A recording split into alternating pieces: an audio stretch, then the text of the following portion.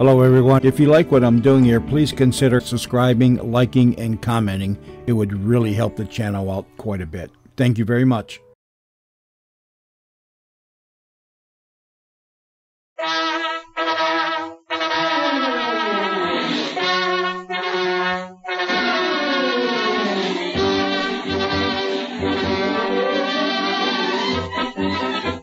Good evening, ladies and gentlemen. This is your friend the Last Man again, speaking from the Bric-a-Brac Little Theater. The good old Bric-a-Brac Little Theater, owned and operated by Mr. Frank Buck.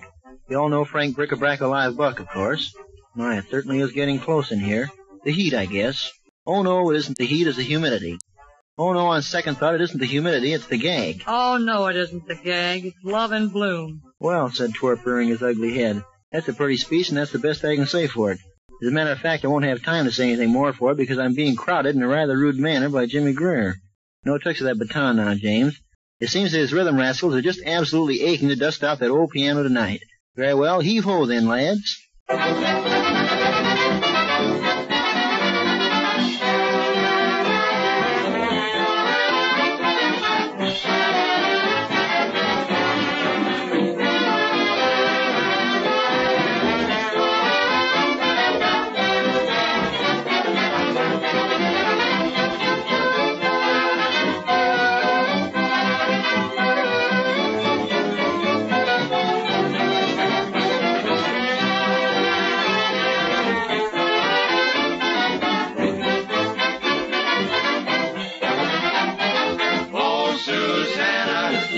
Dust off that old piano.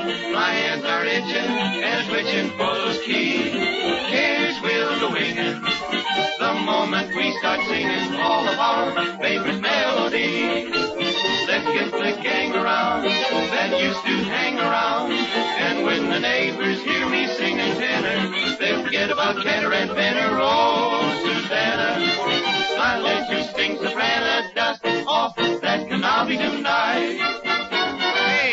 Will please dust off those keys and float through this air with the greatest of ease? Now elaborate upon this minor strain. Chord C is beautiful. I heard somebody say it. Chord G is wonderful. According to the way you play it, Jimmy, you old son of a gun. Strike up the band, let's have some fun. Now follow us and swing. Follow anything we sing. Take, uh, take two village and swing it high. Oh, walk down the street and play like this. La la la la. A bum bum bum, a bum bum bum.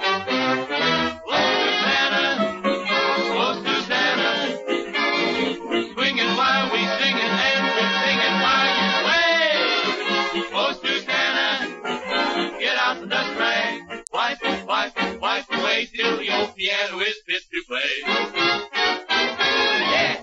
A nice hunk of overture, James. Very commendable. I have to say that. He's standing so close here. Well, we have something in the nature of a surprise here for you now. No, it's not red sails in the sunset. It's a couple of little things that have been standing around here sticking their ears out at me for the last three programs. Yes, I'm afraid you've guessed it. It's the gable and tone of Taney County, Arkansas, Oscar and Elmer. From the far when ready, Gridley. I mean, Oscar.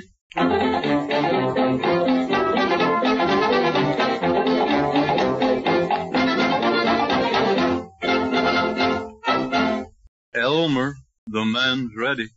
Well, don't don't be trying to rush me, rush rush rush me, Oscar. Anyhow, you're not the dad blame fast tonight yourself. What's what's what's the matter with you anyhow? Elmer, my legs is tired and my feet are killing me. Hmm.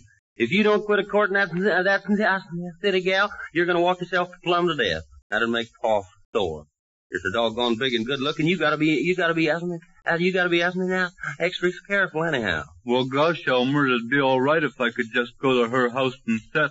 But she wants me to carry her to the moving pictures and dances and stuff, and my feet just won't stand it.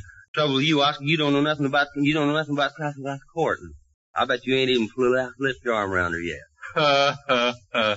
No, I ain't, but I bet I could. No. I only went with my gal team three months till I put my arm around her. We was sitting on the sofa one night and I kind of let my arm drop, drop down behind her. She didn't know it was there and leaned back on it and I was scared to tell her to move. And we sat like that for, uh, like that for five hours. And if she hadn't had to go do the milking, I reckon we'd have been sitting there yet.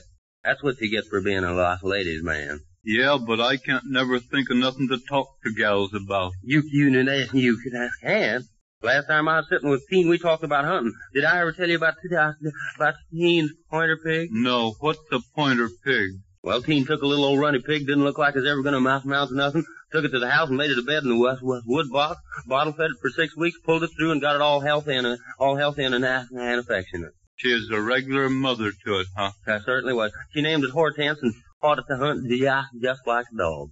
Oscar, she'd bring in more game of that pig in the garden rake than, than anybody in the county could with an armload of sh- shotguns. I went a hunting with, with, with, with that pig in her one morning. That blame thing just trot along in front of us and wag its tail and just grunt.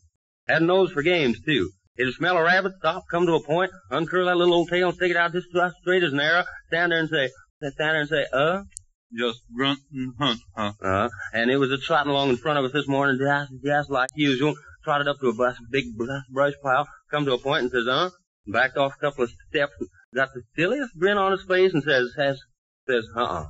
Well, I run up that brush pile with a garden rake, and Oscar, the pig was, um, right. It was a skunk. I had to stay over to Teen's house for three days while her mom, mom sewed me up some new overalls out of some flour sack. If I'd listened to that pig, I wouldn't have had to my, my, burnt my clothes. Well, I reckon I could talk to my gal about pigs, but she ain't got no pig. Oscar, the only thing I see for you to do is get a gal that's got a pig. Well, you better stuff some cotton in your ears now because I'm just about to throw a bit of a dram at you customers. I don't know, Musclehead. I don't think you've got time. How do you like that? Haven't got time. Time is one thing I've got plenty of. Wait a minute. You mean time's the thing you've got plenty of or the thing you're gonna do plenty of? Mm-hmm, I get it. Look, we're getting no place fast and I always get dizzy when I ride backwards. Do you mind if I change seats with you? Be a great trick if you can do it. Well, here we go again. My gosh, why don't you ever give me a compliment? Why don't you say something nice to me just for a change? Well, I was holding back. I did hear something nice about you.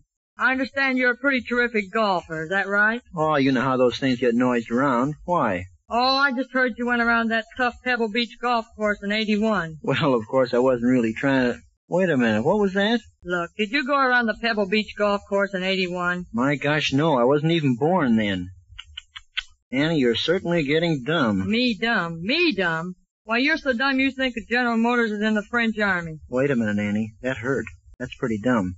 By the way, what army is he in? What army is? Hey, who said that? Flash Jordan.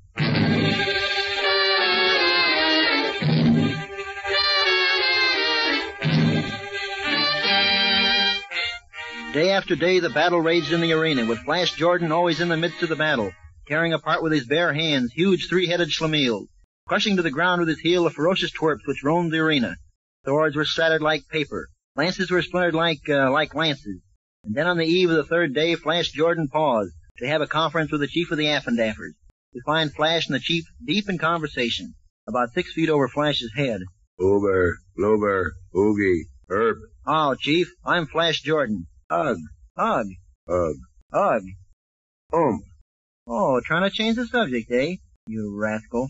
Well, I've got to compliment you, Chief. It certainly is a gala day. Yes, sir, a gala day, and do I love a gala day. Yeah, an eight or nine on Saturday night. Yeah, an eight or... N- Let's not have too much trouble from you, my little hollyhock. And that goes for you, too, Chief. Passage, confusion, consternation. What did you say? Nothing. Well, you took an awful long time to say it. He swore. I swear he swore.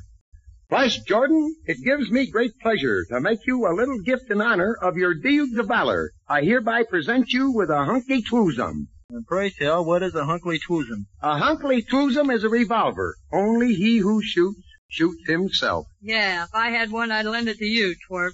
I don't need it. I've got troubles of my own. Look, I've got to clear out the arena. It's just simply crawling with celebrities. I just saw Ben Bernie over there riding a horse. Was Winchell with him? Sure. Well, what was Winchell doing? He was riding Bernie. I guess I got that one in there. I said I guess I got that one in. Hey, are you there? If you're not there, say so. Quiet, Flash. Get a load of this. Chief has got his name tattooed in his eyelid. Oh, I see. Just another publicity hound. You're probably thinking of last week's script, Jughead. Why should you call the chief a publicity hound? I only said he had his name tattooed in his eyelid. Sure, that's so he can get his name in the papers. Some stuff, eh, Pussy Bunny?